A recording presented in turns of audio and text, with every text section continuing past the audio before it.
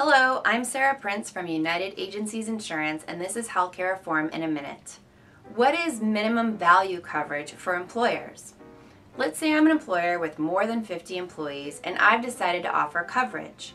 Now I have to be sure that the coverage I offer to my employees provides minimum value according to federal standards.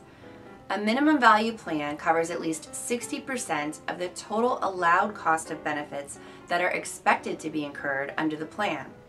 How do I know what qualifies as 60%?